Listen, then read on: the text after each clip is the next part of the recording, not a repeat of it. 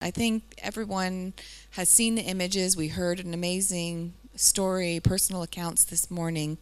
It is uh, a phenomenon that's affecting the children of the world, the youth, the the infants, the mothers, and those elderly. So it is an important and it's an urgent issue.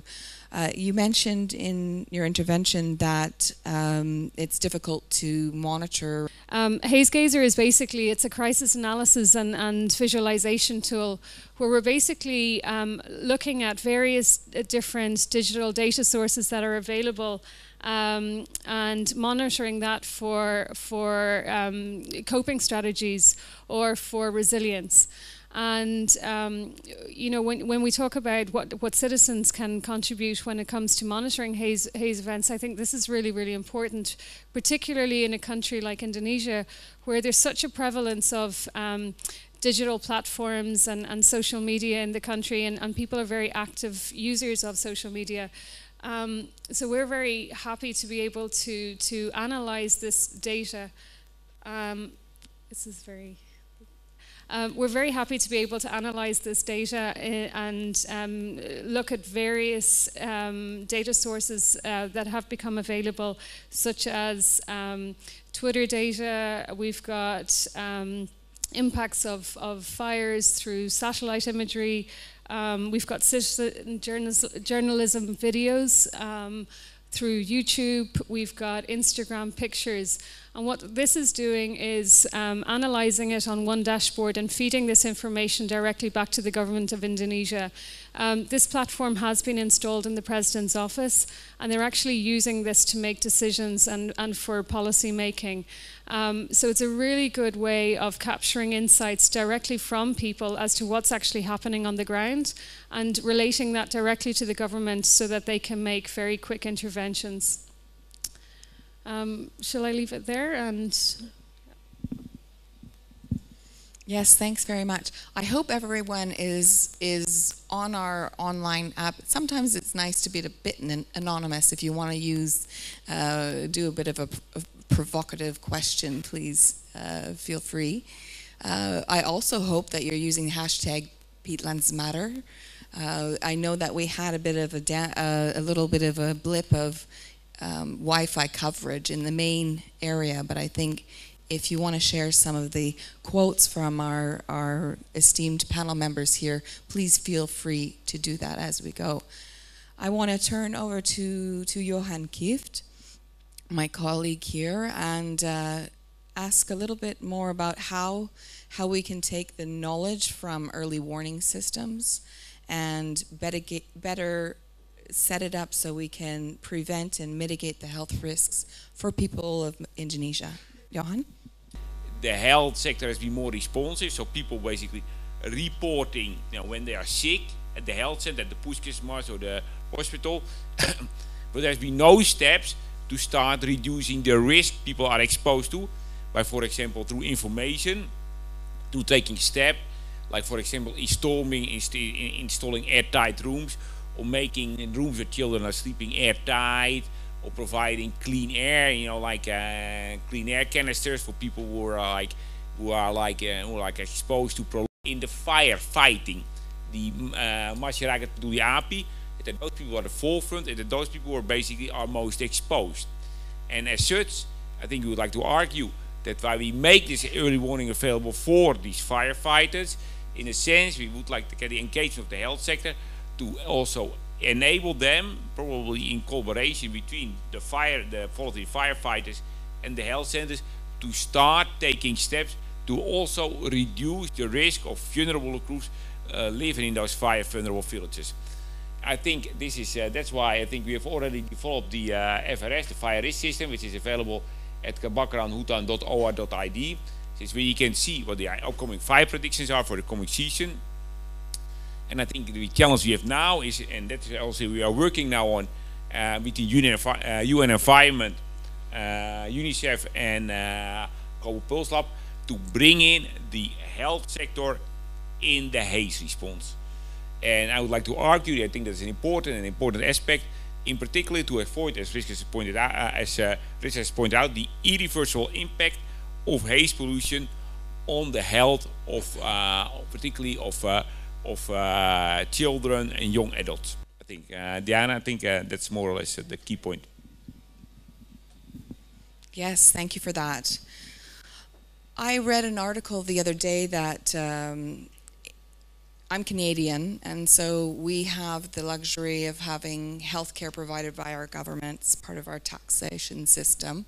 And I understand that Indonesia is working on that as well, a big commitment, hidden and preventable cost.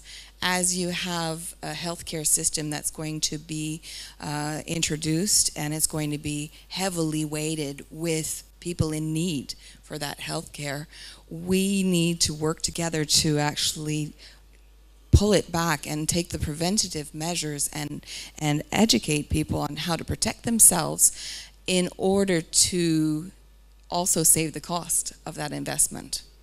It's quite uh, preventable to have to go to to an emergency room, which is quite a costly affair when you're having an asthma attack.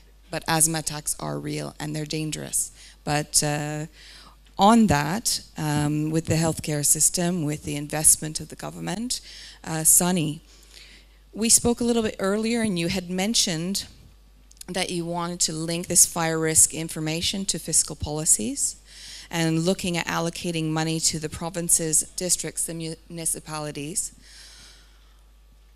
Shifting this emphasis to uh, from from the fire suppression to fire prevention uh, what exactly motivates that for you? Tell us a little about, about, about your work as well as answering that question, please.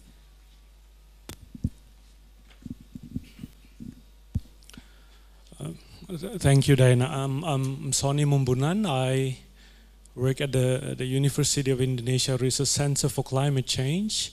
There I, I coordinate uh, work on, on fiscal analysis, uh, in particular fiscal transfers. Uh, by training, I'm an environmental economist, so this is the area that we, we, we, we are analyzing. Uh, before going into that particular questions, uh, uh, Johannes mentioned about the, the, the fire risk system. This is uh, already there. Is we, we, we work together to sort of use the information provided by this system to to say better plan and and and and and and, and you know uh, design more appropriate uh, fiscal instruments to uh, local and subnational governments. The the system itself is is is interesting, the uh, fire risk system, because the nature of the information Johan touches already a bit using uh, advances in, in climate uh, science. Uh, but I think the, the, the, data and information that it provides, you know, there are three at the moment, the fire vulnerability, hotspot pro, prediction, and fire risk prediction. We believe we can use these kind of information into uh, allocating financial resources to different level of governments. But I think one distinct feature of, of FRS is the, the temporal scale uh, we have seen, or we, I think we, we, we noticed that some of the innovations are using very short time uh, predictions, uh, so the, the, the nowcast, so to say, uh, rather than forecasting. And the FRS provides three up to six month uh, lead time. So we have like six months uh, time to predict. But then the vulnerability maps it produced can also be extended up to a year. So this kind of information uh, that we need and are relevant of planning. If you don't mind, I would like to, okay, it's there already. So the, the, the longer the, the, the time that we have to anticipate or predict fires, then there is a possibility to design uh, more fire prevention than fire suppression. And that relates to your question, you know, I think at the moment the, the status sort of, uh, I also discussed with Nico a bit about, you know, more spending, uh, no more fund uh, have been spent on, on suppression. This is cost, costly and uh, if we can shift that into prevention measures, then uh, we can save uh, not only health expenditure uh, related expenditures, but also general, uh, you know, resources for, for other development purposes. And uh, one of the conditions to shift uh, from suppression to prevention is by using risk-based information, and that is enabled through the, the, the system. Uh, and by doing so, we, we, we might be able to respond and plan budget more in, in a sustained way rather than, you know, ad hoc as, you know, the, the, the so to say, the, the, the status at the moment. That's the practices that we are doing. We are uh, very reactive into uh, fire uh, outbreaks, but I think in the future we need to, to sort of uh, looking more into the pre prevention. Now, how this relates to, say, healthcare? I think there have been some innovations, advances, but it seems to be like compartmentalized. They don't communicate each, each other. The, the, the whole point, or I think one, one, one, one motivation of, of, you know, building this kind of information, so forest fire, uh, translating into fiscal mechanism, institutionalizing it, uh, I think this has the potential to bring different development issues using the, the, the fiscal mechanism and budgeting, budgetary mechanisms into uh, the way we organize our limited resources and, and spend it. So I think this one one of the possibility that we are uh, uh, we can we can try. At the moment, it is still uh, we are in the exploratory uh, phase. Uh, there is already a report. Uh, then we will try with tests at selected, uh, I think, district and provinces to see the potentials and limits and, you know, regulatory context and, and, and technological applications. So I think I will leave that. Thank you. Yes, thanks very much. We're then going to shift to another slide there, uh, but what I, how do we recognize those signs? How do we shift from, you know, seeing the smoke, seeing the fire, to recognizing what are the signs and symptoms as people in the most affected areas are the ones that are going to be, um, you know, alerting. We hope if we if we raise the you know the the reach and and spread the reach to get citizens involved. Um, but in order to get citizens involved, they really need to understand the issue and relate. Uh, everyone is relating to it because we're living in it. But what makes fire on a peatland so special, Nico? Can you speak to that? And how does it differ from other wildfires?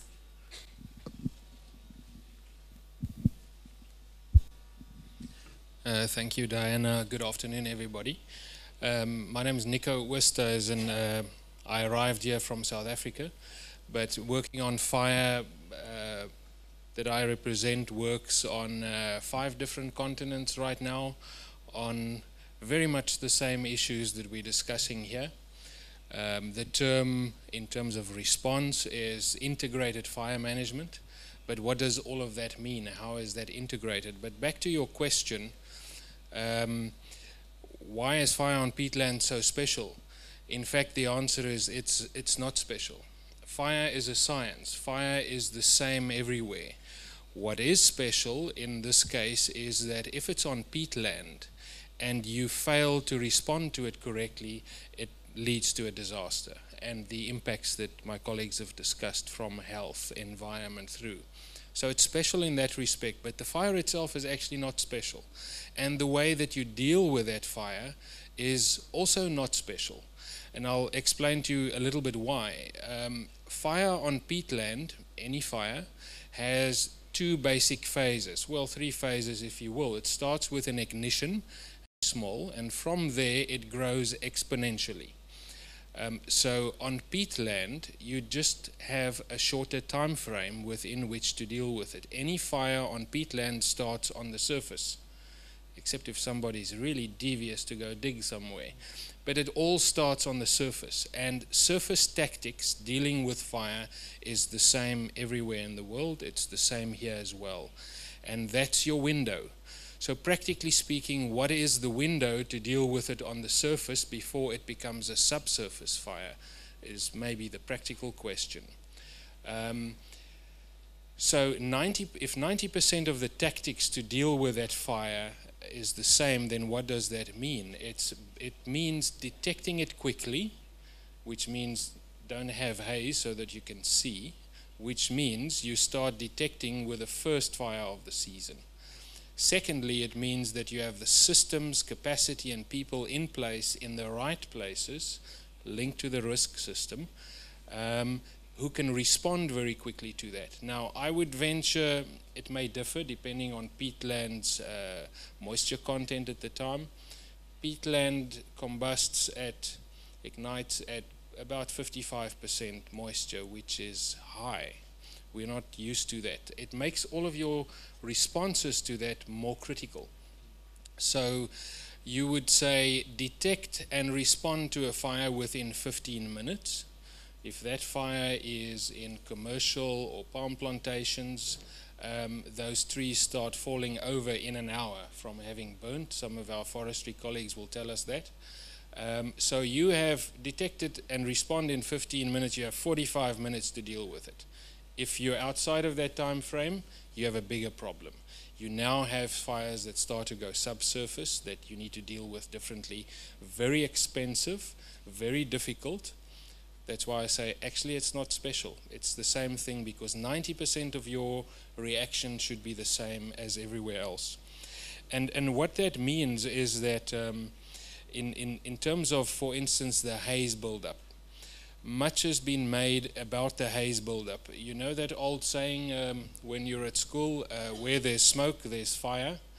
It's about the fire, it's not about the haze, I think. If we can eliminate the fire through proper tactics, um, then we, we're able to eliminate the haze. And, and that's, that's also very practical for us as people who deal with fire.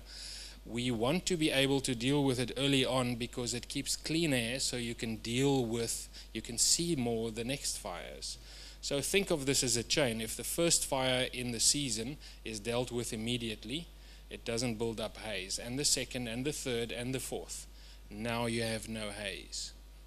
Or let's say less, let's be practical because you can't be everywhere at once.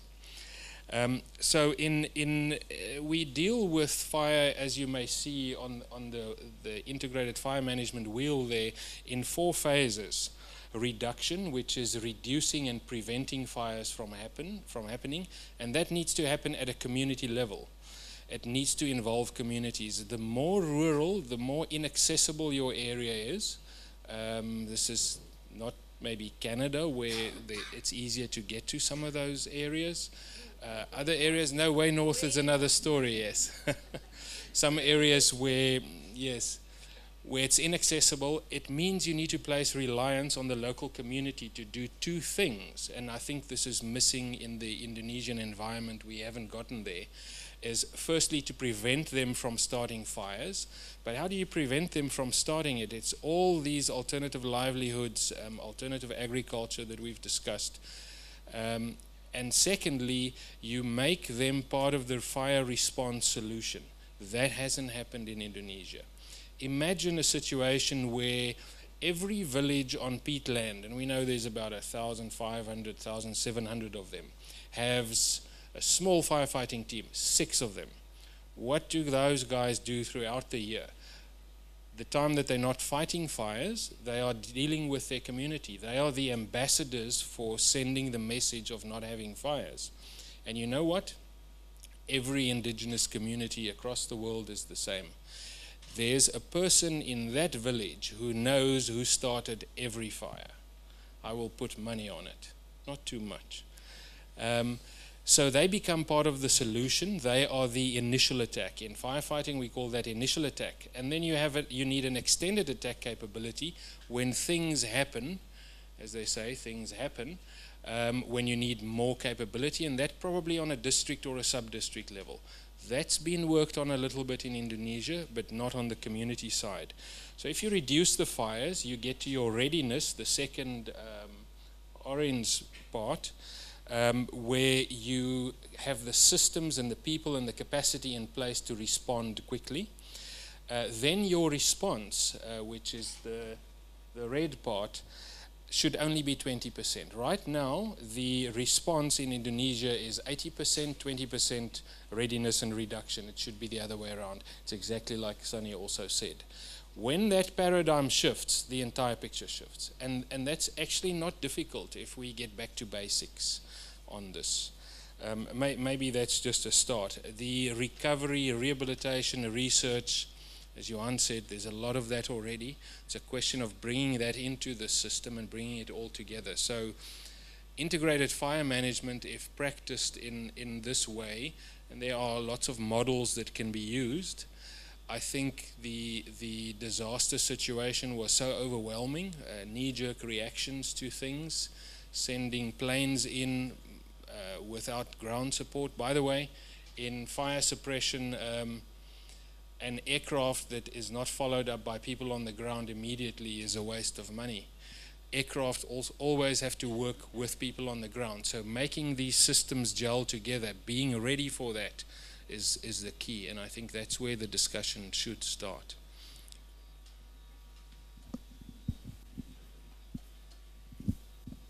Okay, thanks for that. I want to go back um, to Derval and ask you about how we know about uh, local communities, the critical role that they have to play in alerting us. Is is Haze Gazer developed? You mentioned that the president used it. Um, probably not on a smartphone. I don't know. Is it an app yet? Has it been developed as an app yet? and also how real time is the data and information uh, available there. And finally, how can people, what sort of signs would they need to use um, to trigger their alerts and give them the confidence uh, to refine their their communications into. I know it's uh, it's an iterative process. You know, we might see uh, something coming up and and alert, but we don't want the, the, the crying wolf syndrome. So how do we get communities to believe in it and to have confidence in pressing that, that button? What should be they be looking for?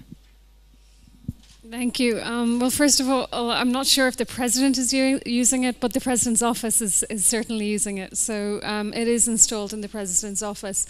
Um, Haze Gazer was first developed as um, a closed um, platform for government decision making.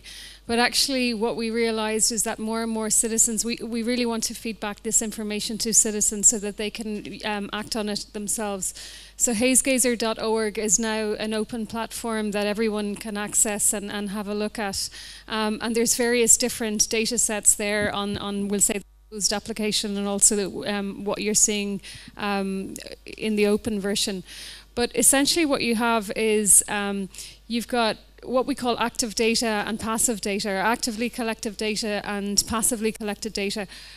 Active being um, people when they're act actively reporting. So if they're if they're posting um, comments on on news fora, if they're posting complaints onto the LAPOR, the National Government Systems uh, complaints website, um, there is an active um, complaint system in, in uh, Indonesia. So that data is collected and, and aggregated and um, analyzed and put on, on Haze Gazer. Um, but then you uh, you contrast that with um, passively collective data, so where people are just using um, Twitter, for example, or any kind of open um, social media sources, where they're just complaining. You know, you're having a really crap day. You've gone to the hospital because your child has asthma or respiratory illness, and you know you can't actually get seen in the local Puskesmas because it's full. Um, and you know, so this is all really, really interesting data.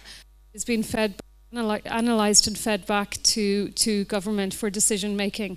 And I think that's um, the real beauty of this is that it's empowering um, the government, you know, and it's giving them very, very rich insights into what's actually happening in a real time basis. Um, I think this is cutting in and out, so apologies, but um, it's it's giving the government um, near real-time information and so that they can act on it um, more efficiently and also then communities can act on their own data now that it's open and it's been fed back to them. No, I think uh, like for the uh, FRS system as well, I think we're looking, it is publicly available, but we have to make it, turn it into an app form so it's easier. Loading up a website on your cell phone can be a bit uh, risky. But it's linked to an SMS system where villagers in selected in selected areas are getting are getting warnings by SMS, in particularly as well. And ideally, now we're looking at now in in, in cooperation with the government as well to look at the system of having this this small trained, uh, you know, early attack uh, brigades there, having them better positioned and being more active. Because I think it's important as well. I think that's also where Haze Gazer come in that we can also track the effectiveness of this of the response because as Nico has explained, the early response is critical.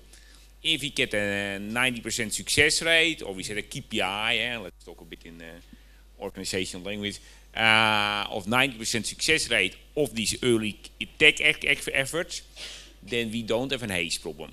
The problem is, as soon as, as Nico said, as soon as fires submerge, it becomes very difficult and very expensive to put them out. And I think as well, I think that this is a policy decision. That, that's also something where Haze Gazer can help it as well.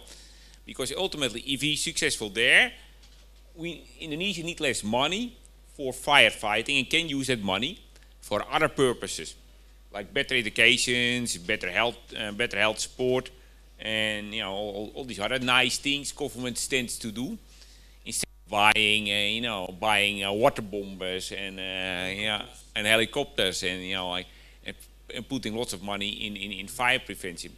Now, in addition, of course, the significant uh, environmental impacts of haze, and thus the significant environmental co-benefit of being able to get uh, to, to, get rid of fires at an early stage. I think I think I think that is bit the uh, the, the overall bottom line. And as I said before, it is important, and particularly I think Palangkaraya has shown that that the uh, the health impacts are significant, and that citizen action in a sense where to the government to insist on better health protection and better protection is important. That's why it's important that the health sector becomes an integrated element of the uh, of the uh, the fire and haze response. Yes, thank you.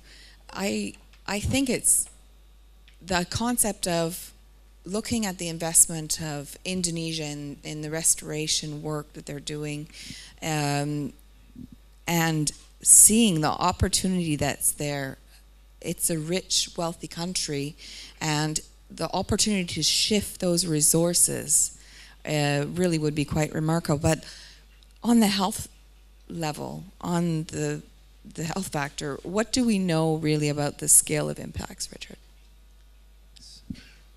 Thank you. Um, there have been a number of studies that have been conducted internationally and uh, nationally, uh, looking at the impacts of haze on uh, on human health. Um, I think um, you could probably look at these stu these studies in in, in, two um, as as two types: modeled estimates that are looking at uh, mortality and morbidity, um, which basically uh, the most advanced of these modeled estimates are basically using satellite data and uh, linking that with um, uh, information on from cohort studies on like long-term studies on the impact of air pollution on human health and then using that as a formula to calculate uh, an estimate of the health impact. Um, these are considered fairly sound forms of um, calculating impact, the scale of impact, um, although they can be further improved as they are estimates only. Um, then there are also um, studies that look at measured effects of um, uh, the health impacts of air pollution. So these methods are basically um, I guess what you'd say traditional epidemiological studies where you're going out to the field, collecting data from local puskesmas or from uh, hospitals, vital, vital statistics, and uh, linking that with maybe uh, fixed air pollution monitoring devices. that's just a way of looking at two. There's studies that are trying to link these as well, um, and linking that information is quite critical. Um, the scale uh, varies from the number declared um, as um, dead from um, death from asphyxia, which um, my understanding of the ICD codes in, which is the death classification codes in this country, I, I think there's no specific classification for respiratory related death. Yeah, so that makes it a little bit complicated. But then, like I said before, if you're looking at modeled estimates, you can look at this dose-response relationship between um, the um, the effect of air pollution on human health over uh, over a period of time, and then overlay overlay that with population data and give yourself um, uh, an estimate. Um, I think you can look at these studies and find out the results of those. But I think a few points to note are that the estimates are good but you could probably improve on, say, looking at cohorts in country. So they have like this family life, uh, what's it called? The family, um, it's a longitudinal study on family um, surveys. And you can use that dose response relationship. And I think, um, I think in Indonesia we could probably um, work on um, integrating those um, cohorts into estimates as well as considering specifically for children how some of these cohorts are looking at that dose response relationship for people over 25 years old. But we don't have cohorts that are looking at children from a very young age, so we have to find ways to, to, to rectify that. Um, but um, I think also what's, what we have in Indonesia is there's a lot of data on, on peatland fires and the emissions factors that are coming out uh, from the actual peatland fires, which differ from, say, a usual forest fire. So it's important to find ways that you can integrate that into these calculations, these estimates. Um, I think um, I think aside from looking at the actual estimate of mortality and morbidity, death and long-term disease, I think what's also worthwhile considering is as my colleagues have mentioned, looking at forecasting fires, you want to also forecast um, the implications of land use decisions on on health um, health outcomes. So look at if uh, what what what would um, the decision to um, for, to clear a certain plot of land, what would what would that translate to in terms of um, human life human life lost or costs to the health system. And not just direct costs, but then all the indirect costs of long term um, disability to the, to the population. Um, I might leave it at that. Thank you. That's great, thanks. You mentioned the masks that people are using are not effective or uh, as useful as they could be. Johan also mentioned about the importance of getting information out to the most vulnerable uh, groups about sealing off rooms for those that have respiratory illness or sensitivities. This is, and we then we also talk about the firefighters. This is a massive operation and a sort of network. But I do think that you know, these sort of conversations, as well as the conversations we're having here today, connecting the discussion on, on peat with health, with people, and with the choices they make. So, Sonny, our, our money, money guy, if I were going to invest in something to protect immediately myself from, from haze, would what would the investment be for the person? Either a mask or the protected cover, and then pull that up to the to the national level. Where are those points of immediate impact, investment impact that the government and uh, private sector and businesses can get behind? Sonny. I think as well, I think that's very important to look at that.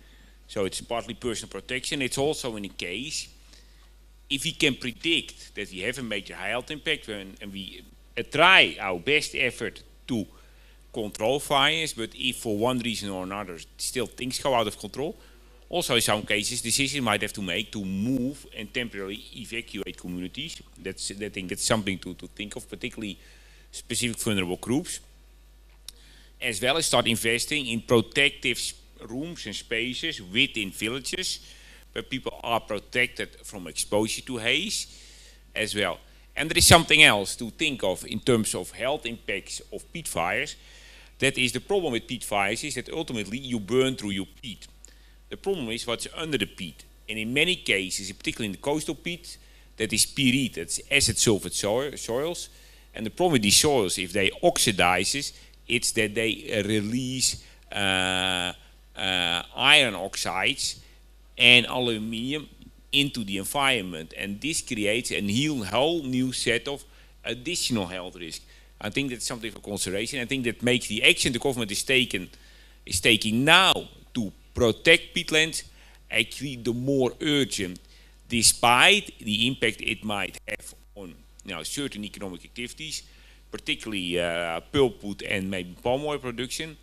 Ultimately, the long-term impact, positive impact it is, is on the health through less haze exposure and through uh, mitigating the risk of uh, uh, of uh, complete disappearance of peat and exposure then to the impacts of you know like an an, an, an, an acid sulfate uh, degraded environment, I think are significant. And from that perspective, I think ultimately restoration of peat is in from that perspective is critical and it's critical for Indonesia within this context to meet its sustainable development uh, goals. and Sonny, the sector, the, the, the decision for the person, where do they put their immediate few resources, the individual? Thank you. This is a, difficult, very tricky question, but I, I, think the, the whole idea that we would like to bring here is that uh, when it comes to public finance, there are different responsibility assigned to different level of governments. And along with that assignments, it, it, there are also different agencies and ministries involved because we are not uh, saying that, uh, you know, like uh, preventing fires involve only one uh, directorate or only one ministries.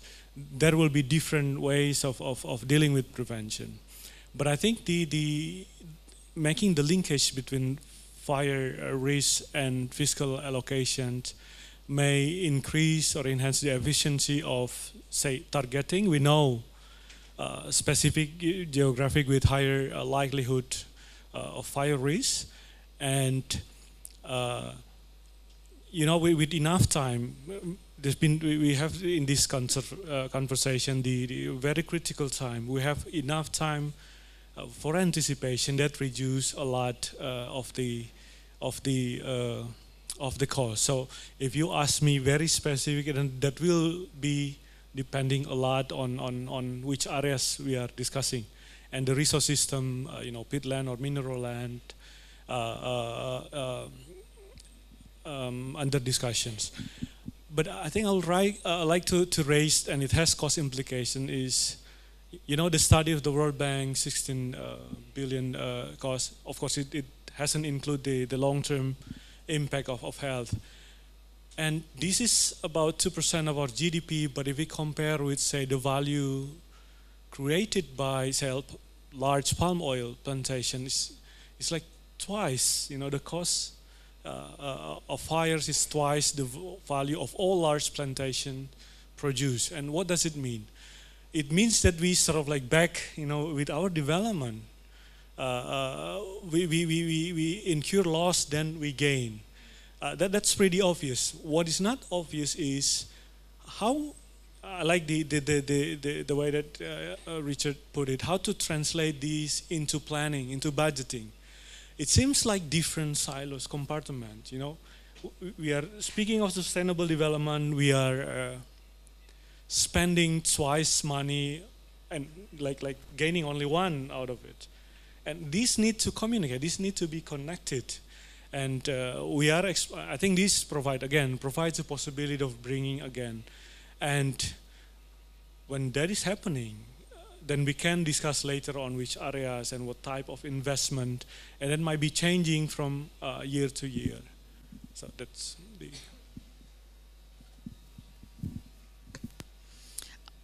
And I guess it's about uh, keeping busy and sort of on your path and maybe not looking to your right or your left or you know delving so deeply into your area of expertise that that the passion overwhelms you and can actually put blinders on. But i think when we talk to to people uh, that are affected at the communities they have a much more holistic perspective of the problem. And uh, i wanted to to ask you, Nico, aside from the fires directly, how um, would the integrated fire management solution and uh, applied on peatland areas, how would it impact the rural economy in your in your opinion? I think that links uh, very well with what Sonny has said, and I can see this problem, and it's not a unique problem in Indonesia, where you have funds available in silos. You're spending uh, uh, hundreds of millions of dollars on healthcare effects of this, and in effect, what you need to do is transfer that back to the to address the root cause, um, and that's a, a policy or a political problem. So to, to answer your question of what kind of impact this would have economically, let's let's ask ourselves what would a what would a system and, and let's focus just on the peatlands for now. In Indonesia, you have uh, what we call 14 fire-prone peat districts. That's where 80% of the haze comes from. Uh, what's the figure? 80, 85% of the haze from from those 14 districts. So, if it's it's very simple to now extrapolate that, uh, remote and inaccessible as some of those areas are, um, you sit there with 190 sub districts. You sit with about a 1,500, 1,700 villages. So one can cost these things out. It's relatively easy. Um, on that same area, you sit with roughly 2 million hectares of forestry plantations. And the name of the game in integrated fire management is collaboration. Collaboration between all actors in that space. That's when you gain efficiency, that's when you save costs, then that's when you have the biggest socioeconomic impact. I'm, I'm coming back to your question. So, if, if, if that solution needs to lie there, the, the problem is that that collaboration is not having a nice dinner and a chat, which is not even happening in Indonesia between the different actors. It needs to be institutionalized uh, collaboration, and there are ways to do this. There are ways that, that this can be done. Typically, we call those fire protection associations, where things are done on a, on a district or a sub district level formally, formal collaboration. This is how we pool resources, this is what we do. But if you pull that through to be, to be a little bit more blunt, if we have a $16 billion impact overall on the economy of the fires in 2015, and this type of a system only on peat, which will address 80% of the problem, would roughly cost under $200 million a year to implement. A full, proper system. It becomes a no brainer to do that. Yet it's not happening because of the silos and and that's that's where it comes. But there's another element that I don't know if that question has been asked in Indonesia, and I'm using specifically a South African example here. The Working on Fire program started in South Africa to address two problems. Fires and the effect of fires on people's livelihood and on the economy, the $16 billion question, uh, and also on people's livelihoods. Uh, how do they? How does the fires affect them? But also how can that the money that is spent to deal with fires uh, contribute to job creation, contribute to the local economy.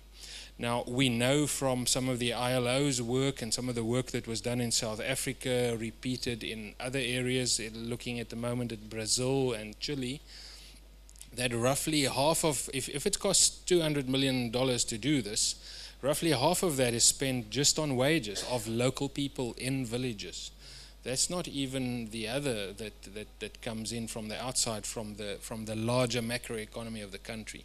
So the socioeconomic impact of the solution is much bigger than only eliminating the problem. It actually can be turned into an opportunity. And I think those figures sort of speak for themselves. They're not final figures, they are desktop type of approaches. We're looking at a macro level. And if you can do that at that rate on 80% of the problem, which is on peatlands, it's very easy to replicate in the, in the rest of the country the same model.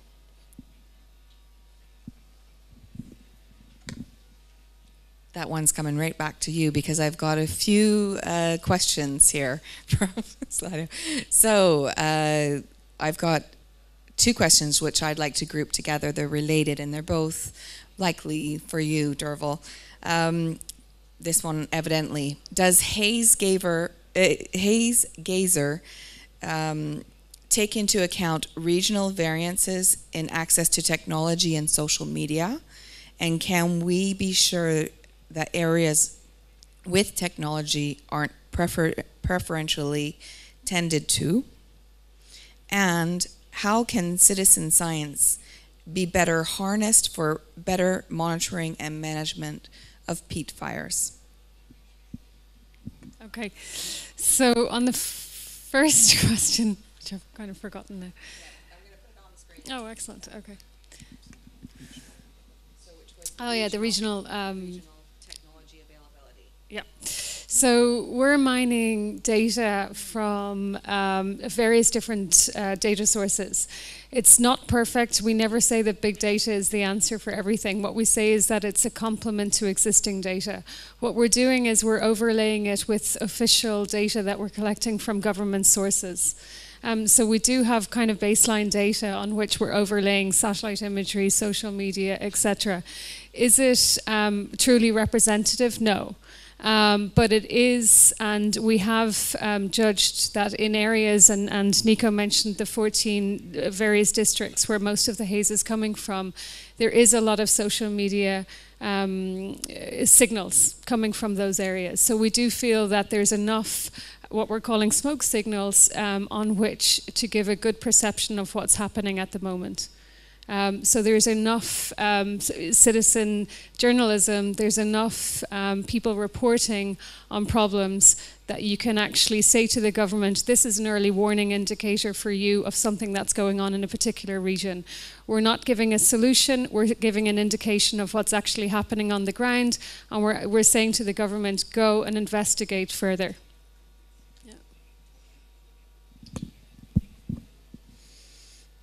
And the most popular question on Slido is there has been little haze since the 2015 crisis.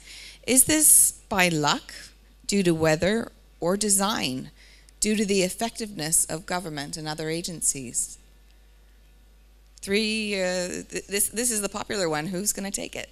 Okay, here you go, Johan. I think it's a combination of things. One, uh, uh, but the thing is, yeah, the last two years have been. Uh, 2016 was La Nina. 2017, where we are now moderate La Nina, moving to which weak El Nino, which has created up till now like about average rainfall patterns. So I think that is one big uh, factor. Another thing is the government has really picked up in terms of joint patrolling, where there's so villagers, village government, the TNI, police is patrolling together, and that has been fairly effective. In, in particularly in the sense is bringing in this early early detection moment close to the fillets, and that has really started working and that has paid off in reduced in in in in in in in in, in, in, reduced fire occurrence. Uh, I think, and in addition, I think there is also amongst communities, there is, I've, as far as I've seen, I've been working on this effectively since 2000 there is more awareness now of the risk of wildfires. And communities are putting in more effort to control fires better than they did 10, 15 years ago. Okay, thank you very much. Um, Richard, what kind of first aid tool actually if, is effective to reduce carcinogenic particles entering the lungs, especially for children? And this is going to be coupled with a question what kind of changes or infrastructure would be necessary to provide people with more reliable masks for severe haze events? Two part question. We're still working on getting that up there for the screen, but you can look at the phone if you need to. Don't worry. Don't worry, we've got the, the technology here. Okay. Thank you. That's all right. I think I can answer them. Um, from from my understanding um, of the the toxicity of of haze, um, smoke, air pollution. Um, basically, uh, even your N95 mask that you could probably get is not going to be sufficient at the peak of haze. Yeah, I think um, maybe uh, there was a colleague that was sitting here who was telling me the story of when they were going out to do field visits and taking measurements of emissions factors at the height of the haze. He was telling me how he was wearing, for his own precaution, the whole team decided to wear full, um, full, uh, fully intense res respira respirators. They're basically um, the thing that you'd fit around your face, and you have to strap it on with the this is um, those are the ones you see in all those movies, right, with the double breathers. Yeah, just picture yourself being a fireman. Yeah, yes. um, that's if we're talking about peak um, emissions. That that's that's the only thing that's going to really protect you sufficiently, and that's not going to be uh, something that uh, you could expect a child to wear day in day out. Um, I think if we're talking about like low cost but um, at least minimum standards right now, what would be probably best to see, and I'm probably not the authority to speak on this, but this is just from what uh, we've, we've, been led to um, with some of our research lately and discussions and planning with some partners, is that at least move to N95 masks as a minimum. They're available in your local hardware stores just as you know something that you can buy and possibly afford if you're living in a rural remote community you don't have a whole lot of money. Um, something that um, local Puskesmas could could supply with their own budget. Um, but um, these masks they're not currently designed for children yeah? Um, so aside from that, from the, the trip, say, from a child's home to their school on a daily basis, if they have some form of protection, that's one thing when they get to their school, bricks and mortar. What's what's the building like? Is are there holes in the walls? Is is the window open to air? Because otherwise the pollution's coming in. Um, you know, I'm I recall personally just uh, sitting in a disaster risk management conference in India last year at uh, 300 threshold, uh, which was um, the basically the um, the hazardous threshold of WHO standards. Um, to note that during the peak of haze it was uh, 10 times that. Um, visibility, I could struggle to see 20 meters ahead of me. Um, and basically in that environment, you know, th th there's, um, there's no one wearing masks in that environment. And this is, you know, it's a, it's a general concern. So, and this is this is um, the air that's coming into the room that we were having having our general conference. So, on a side, I digress, but basically saying, okay, if you're in this haze environment um, in Indonesia where peatland fires are, are, are going off, um, you'd need to be looking at, um, as Johan mentioned, somehow looking at air infiltration and ventilation of buildings, um, looking at how you can rig up low-cost but um, uh, simple and um, simple air purification devices. So we're, we're, we're talking with partners on this, on how, how we can work to um, design some simple solutions like this. Um, they have them out in the market, but um, there's nothing on the, the market here right now that we've seen, um, and uh, th these are the sorts of solutions that I think, okay, that's if you had this in your room, you could at least reduce the um, particulate matter in the air to a level that's uh, below the hazardous level, um, and at least control that environment. Somehow seal the windows.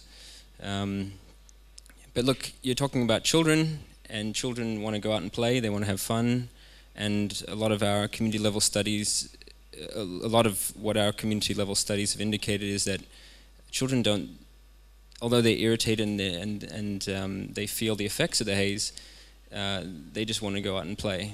And um, you can't. It's sometimes very difficult to keep someone inside, contained, uh, for extended periods. When we're talking two to three months a year, this is this is quite serious. So, I think aside from those like risk reduction measures, you've got to also be looking at air quality monitoring. Um, so low low cost sensors, so that people can track and monitor when they're approaching a threshold in, in air quality. Um, and then also have the flexibility to make decisions about when schools should be dismissed and um, um, whether you should be changing school schedules to accommodate for peak um, air quality um, air quality issues.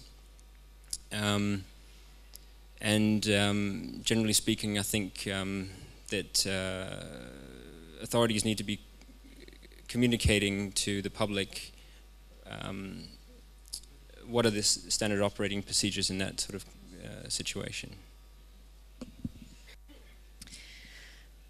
Every child obviously has the right to play, should be out playing, should be ed educated, should be going to school. Every child.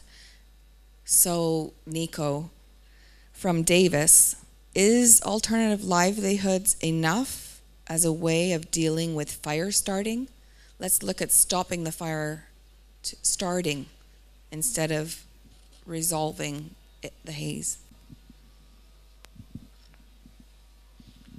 I think the direct answer is no. It, it can't be enough, uh, but it is part of the solution.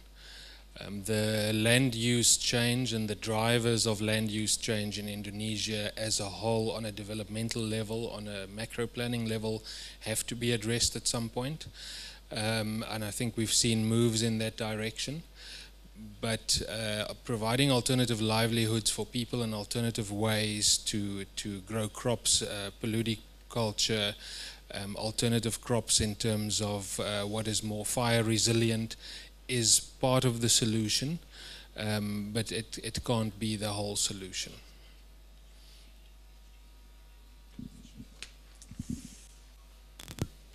Thanks, everyone. I think we want to go to the room. Uh, we got quite a good level of interaction on on the um, online and apologies for those of you that have had any technical difficulties trying to get online. You can use hashtag peatlands matter as well to post those uh, questions and comments and many of us are on Twitter, so we will take our time during the day or tomorrow or in the weeks to come to reply to those messages and, and keep up with the interaction. So is there anyone that would like to ask a question in the room here? Yes. Do I have another? So the microphone, if you just stand up, microphone. Okay. Let's save time. I'm coming on over.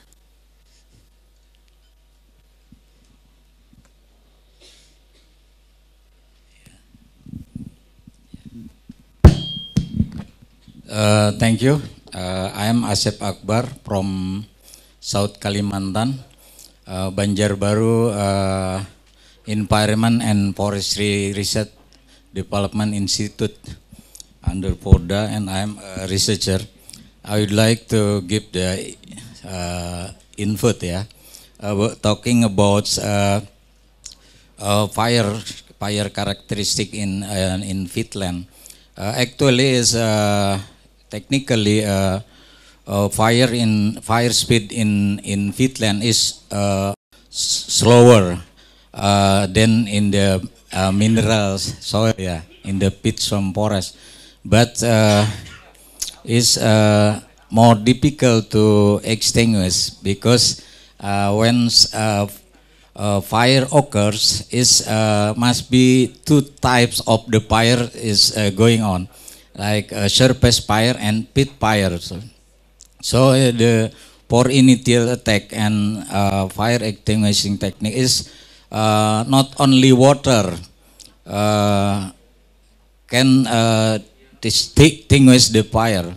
Also, a, addi- additional matter like uh, foam and it must be uh, used. Yeah, is technically, and uh, uh, according to our research is uh, 200 250 uh, meter square per minute in uh, mineral soil is fire speed, but in in in pitla- pitland fire is only 50 uh, meter square uh, per minute. So I, I think it, is is lower. Uh, but uh, uh, the other problem is uh, availability of water. Yes, so, uh, but uh, currently is uh, there is the new technology that's uh, uh, making the deep well uh, is about uh, 20 25 meter depth is is good technology for supply the the stock of the water you you can use every time water always uh, available. Uh, because at first uh, according to uh, uh, my uh, experience yeah, yeah uh, every time we solve the suppress the fire is always uh, using the fire from small canal and dig well. And the problem is uh, continuation of the water is is not good but no it's not problem for uh, uh, stock of the water. And and uh, according to my opinion for fire prevention is uh, depend on of three A's. First A is education. Education is always training and give the transfer technology for local people in the vicinity of the forest is uh, is one and uh, the other is uh, law enforcement for for arsonist as uh, something like this must be this law enforcement. And and the third is uh, discipline uh, uh, how to mix the plantation with uh, low risk of fire. Like when the dry season is must be minimize the fuel under the plantation of the is very important. If there is three aspect uh, uh, we we applied i think uh, big fire is not come as you correctly said, there needs to be that balance the, the, the, the education, the awareness, the training and technology, the law enforcement, and the fuel load management, which is an important part. Uh, and there are a few others as well, but that's a, a long discussion. Communities are all over the same. It's all human nature. If you if you focus only on the law enforcement, and I'm, I, I thank you for, for raising that, um, you actually create through legislation you create a criminalizing effect in communities if you make them part of the solution you'll find that your law enforcement need reduces because they become part of the solution they are part of the problem and they have to be part of the solution the same applies to any land user if the correct environment is created so those guys will make sure that there's less fires. They know who the people are. So in effect, you're changing, you're decriminalizing this because they are dealing with it themselves. And this is a very important social, uh, social, and it becomes a political issue. If if if fires are seen and prevention of fires is seen as a, a political imperative, um, then then communities respond to that. But if you make that switch, communities respond very positively to that. I think that's the only addition I'd like to add on that. Thanks very much. We have another question here. Thank you for your question. Um, my name is Ahmad. I'm a student from Bogor Cultural University. I have three questions to all of the panelists here, um, especially as youth. Um, perhaps all of youth here uh, really ignorant to peatland matters or forest fire and so on. And for instance, me, because I'm not I have I don't have uh, enough background about the peatland and so on, uh, with fire and then halt and so on. So I guess this is not my business. And then, what do you want from youth if you want to uh, engage us to get actively to tackle the forest uh, peatland fires, especially the effects and so on. And then the second question is about uh, the technology. As we know that most of the youth uh, and also indigenous and also women are, are marginalized, especially in the local area, who affect, uh, who, who are affected by the like uh, fires, evac and so on. And then how do how how can how can they get the actual data or update data to what is it to understand which is the health the, the health is better and so on after they now we just discover our yeah suffer with uh for the haze and then another toxicity material impurities for um, forest peatland fires. And the third question is about um, cross border of youths not we, we, we, we know which is the forest fire and the peatland fire is not only suffer Indonesian people and then Indonesian citizens, but also Malaysia and also Singapore. Do all all, all of your uh, I mean, do your institution consider or envisage which is all of the childrens are safe in Singapore and also Malaysia, not only just in Indonesia. Do you consider or envisage the healthcare and so on? Thank you.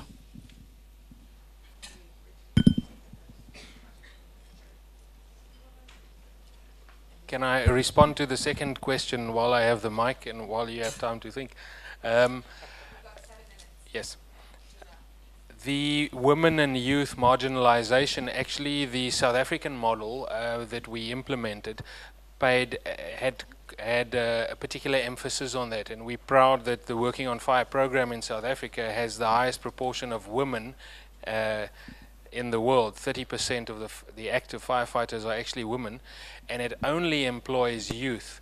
Granted, it defines youth a little bit higher than we used to, but it, it, it focuses specifically on that. And, and there's a reason for that because youth enter into the society. It's the best way to influence, must be involved. We're living longer and, and staying younger. so youth can be a little bit older. Why not? Yeah, I was just going to say yes, we do take into consideration um, surrounding countries. Haze Gazer is actually monitoring those countries as well and feeding back with different data sources what we have available in, in, in those two countries also.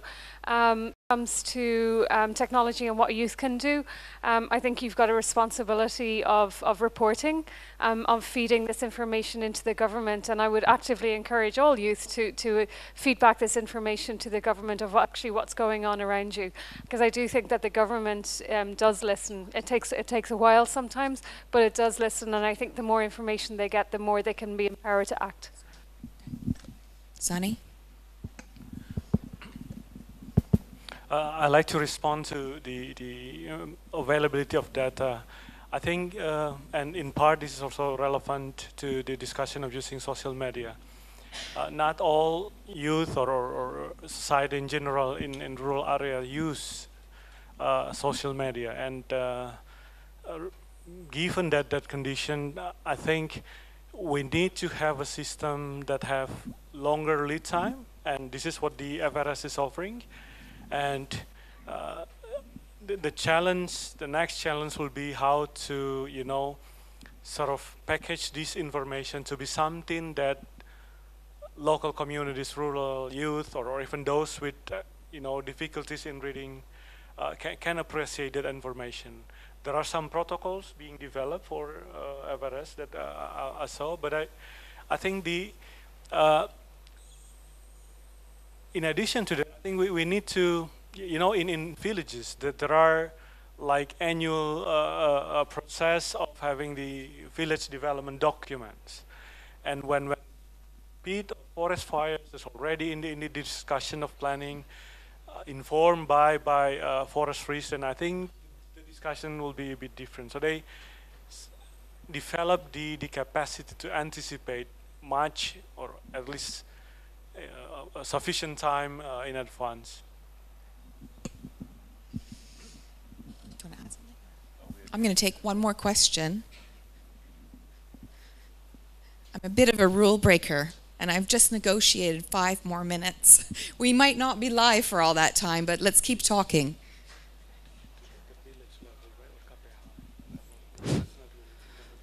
Eh, baik, selamat sore. Saya tidak pakai bahasa Indonesia karena eh, tidak bahasa Inggris, tidak bisa karena saya dari masyarakat biasa. Nama saya Setiono dari Siak, Provinsi Riau. Eh, setiap hari yaitu masyarakat peduli api atau berhadapan dengan hutan dan berhadapan dengan api langsung. Ini sangat menarik. Ini eh, pas di tempat saya. Saya diundang ini pas eh, di sini tempat acara saya. Eh, sangat menarik yang sudah disampaikan oleh moderator depan semuanya, penulis semuanya. Eh, saya eh, langsung, eh, mungkin kalau bapak yang tadi cuma eh, belum berhadapan langsung dengan api. Kalau saya sudah sekian tahun berhadapan dengan api. Saya lagi masyarakat bukan dari segi pemerintahan, bukan dari perusahaan, tapi dari masyarakat peduli lingkungan. Yang masyarakat peduli api yang tanpa digaji. Eh, kami eh, punya forum masyarakat peduli api yang beranggotakan 25 orang. Eh, ini sangat menarik. Ada beberapa hal yang kami sampaikan.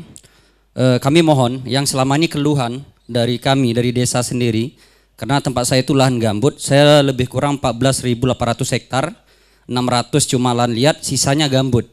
Jadi itu yang kami jaga.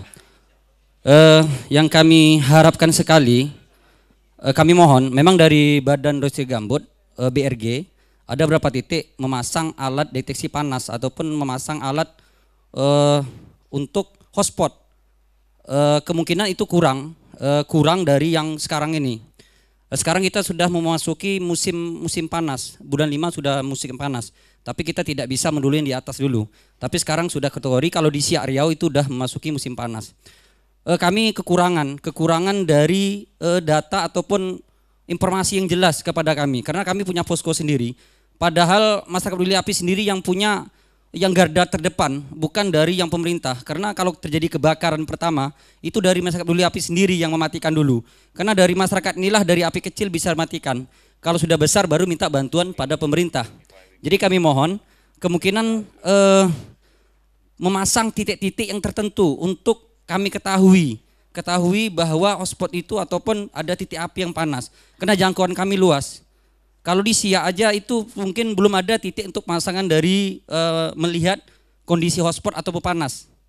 Jadi kami kurang tahu. Kami informasi tahunya dari kalau dari eh, dari Siak itu menggalak agni atau dari kepolisian. Itu pun lambat, lambat karena api sudah besar.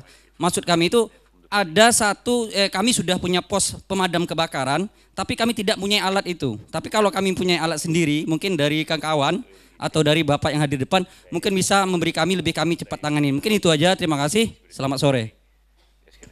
Thank you. I met a few of those firefighters in the field uh, yesterday, and actually, we'll be tweeting about them tomorrow. I'll head over here to uh, Johan, which uh, who will just give a quick summary, because um, he can translate and respond. Okay, at so once. ini um, Bapak ah, saya, ah, tadi saya kurang dengar nama ya. This microphone's better, Johan. Ah, Bapak Sutiono dari Siak. Nah, kebetulan dua hari lalu kami di Siak, kita ketemu dengan Pak Wakil Bupati, dengan Pem dan lain sebagainya, lihat desa Dosan dan Darana Sakti. Eh, terus ini yang Bapak cerita itu punya kaitan dengan informasi dan juga kaitannya latihan yang ada sehingga Bapak bisa mengarahkan cepatnya ke api dan bisa mema- memadamkan api secepat mungkin dengan cara apa. nah kebetulan kepanikan dari eh, ya, eh, kurang eh, dari Afrika Selatan itu apa belum bisa bahasa Indonesia itu karena kami membawa itu berapa setengah tahun lalu eh, berapa orang dari Indonesia untuk belajar di Afrika Selatan di sana mereka ada itu alat deteksi dengan kamera yang memungkinkan memang untuk secara cepat deteksi api di mana diinformasikan ke MPA ke pemimpin eh, MPA supaya bisa bergerak dengan kota cepat dan memadamkan api saat masih kecil. Berarti sebetulnya itu bisa dan itu satu hal yang itu kami harap bisa diuji coba di Indonesia secara lebih luas hanya sekarang masih ada sedikit uh, isu dengan teknologi, tapi pada dasarnya sudah bisa. Uh, selain itu, dengan sistem FRS itu biasa kami kirim ini apa memang SMS ke Manggala Agni dan ke B, eh, eh, BNPB dan berapa itu biasa lembaga pemerintah perintah lain. Tapi ini barangkali kita juga harus berpikir dengan masyarakat dari Bapak bagaimana kita bisa menyentuh ke ke masyarakat bawah supaya barangkali harus lewat app dan supaya Bapak bisa langsung dapat pesan singkat pagi oh eh, hari ini apa jadi eh, rentan kebakaran ada risiko kita harus siap siaga jalan sudah. Oke? Okay?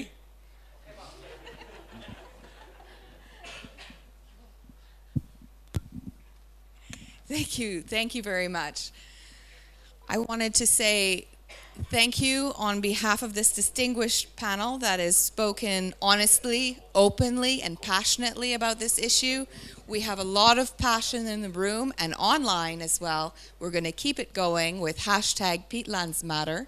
Follow us on uh, Twitter or Facebook or any other social media that you may choose. And please, there's nothing more important than speaking face to face. So we will be available, accessible, and excited to speak with you more about this at the peat meet and greet this evening. Thanks, everyone.